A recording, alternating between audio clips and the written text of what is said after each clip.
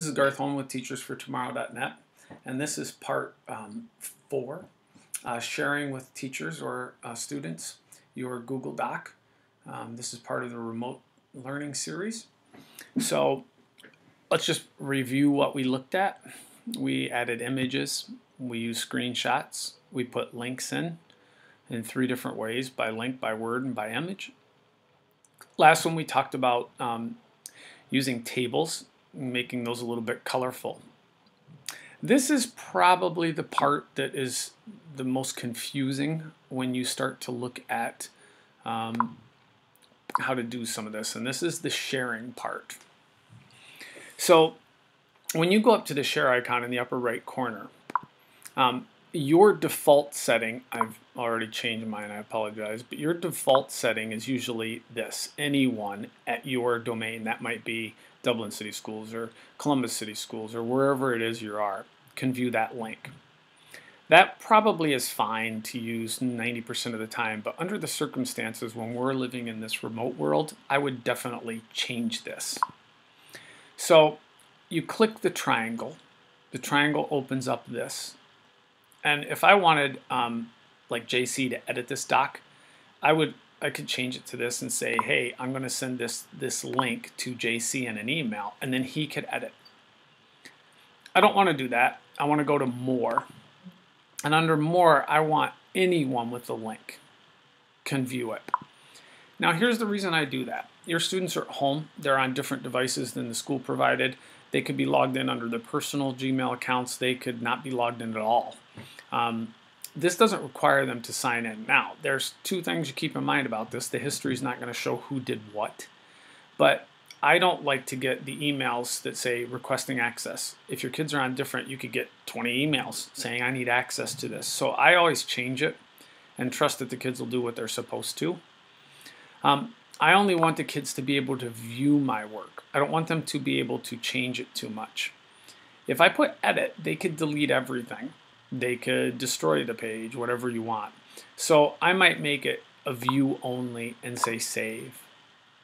I now have a link and that link only lets you see the document.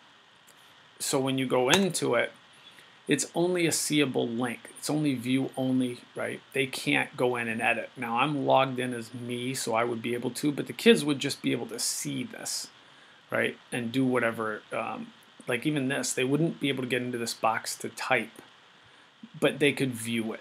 So if you have a series of directions that you want the kids to see, but you don't want um, them to be able to edit those directions, definitely view only. The other option you can do is when you're on this view only, when you go to more, you can change it to can comment. Now I'm going to leave mine on can comment and I'm going to save that. And I'm going to take this link so you see it right now. And under our Google Docs, I'm going to put this link. That means you're going to be able to comment. If you want to comment and say, hey, I still don't get this or I don't understand, what that's going to do is that's going to send me an email that says, hey, somebody commented on your doc. So I'll know to go back in and look. It won't just sit there for two months and nobody will see it. I will walk you through comments before we do anything else. Once you get uh, on here, you can literally highlight, like say you didn't get these screenshots, how to do this. You could highlight this and now add a comment. And the comment, sorry, I don't know why it's there. The comment could be, um, I am not sure how to do this on a PC. If you click comment, that comment is now embedded on the doc. I can get an email and I can come in and say, hey, I need to address this. So I can respond with you with directions, you know, and this would be the snippet tool or the Snagit tool, and I can reply. And it will send you an email that says, hey, Garth looked at this, he gave you a suggestion, right? Or I might give you a link or something. So um, then when I'm done and I've answered, you can come back in as the person did. You can say resolved and that'll get rid of that comment because I sent you some kind of information.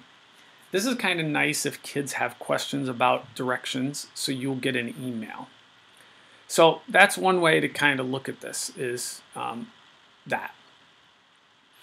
I did the outside with anyone, so let's go back and I'm going to kind of put these links here. So that's the comment link, but now I don't want people to comment. I only want them to be able to view it. So I'm going to say save. And I'm going to put that link on here. So anyone outside can view the link.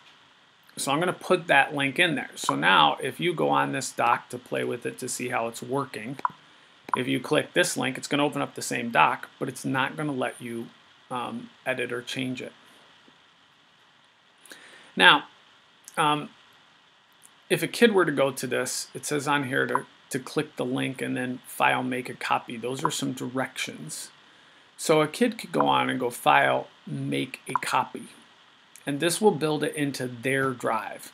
So let's suppose the only thing on here, I'll cancel this and kind of walk you through. The only thing on here was this table, and you told them to do it. The kid would come on, make a copy, and then they would add their information in. So that's one way you can do it as well. Um, so we talked about sharing with only people inside your organization. That that's probably not the best route right now. Um, we talked about clicking on a link, making a copy, and then they would own the work. And then we did look at the comment and viewing only. So we've got comments on for you to use. The sharing seems to be the one that people will forget the most. If you get from students, I need access, blah, blah, blah, and you make a change in here, so anyone with the link can view, and you click save, that is what's going to happen. They're only going to be able to view it, and it'll auto change that on all the links you've already given people.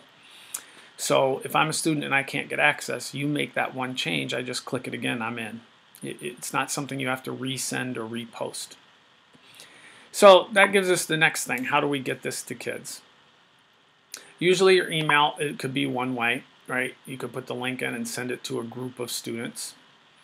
The other thing you could do is in further tutorials, we'll show you um, how to build a Google site, which is a nice window to the world. It's a little bit easier than Google Classroom although a lot of people like Google Classroom and we have tutorials to walk you through setting up a Google Classroom. Um, in this case, since I already have a Google Class Google Classroom, you could push this whole assignment to your Google Classroom. I could take the link and put it on a website. So there's a lot you can do to get this to people. Um, if you have any questions about sharing, please let me know because that tends to be the most confusing um, about how you do it. So here's our final doc. We've done enough where you can build some pretty basic and good assignments for your students to do remotely. Have a great day.